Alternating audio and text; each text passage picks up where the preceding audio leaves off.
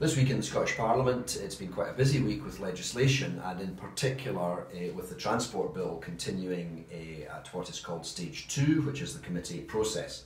Uh, we had previously looked at buses and low emission zones and pavement parking, but this week the focus was on the workplace parking levy, and that has clearly been quite a, um, has caused quite a lot of um, debate and argument and so on. Uh, I think the idea of a workplace parking levy is extremely good.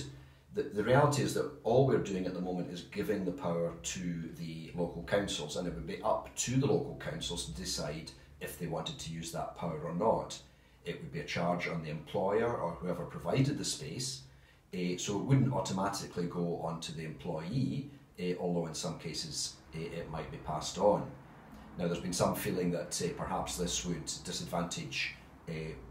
workers who are not so well off. But the reality is, as far as I can see in Glasgow city centre, and it's the same in Edinburgh city centre, where there's a lot of congestion problems, and we do need to cut down on the number of cars uh, in the city centres, that these parking spaces underneath the offices and so on tend to go to the directors uh, and the highly paid employees, and the ordinary workers and the cleaners and so on have to get there by bus or train or whatever else. So if actually the charge was passed on uh, to the employee using the car parking space, then generally speaking, it would be going to somebody who is better paid.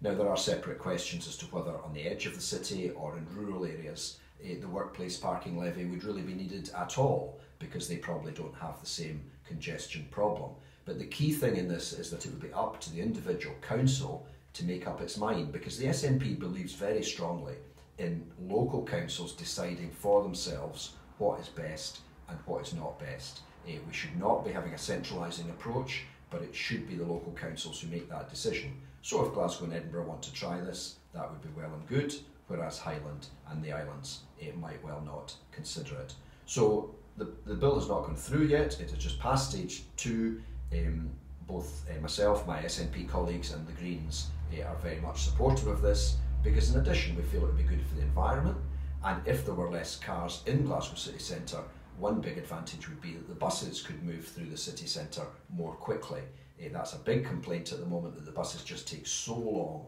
uh, to get through Glasgow city centre and uh, hopefully going forward we can speed that up and more people can use public transport.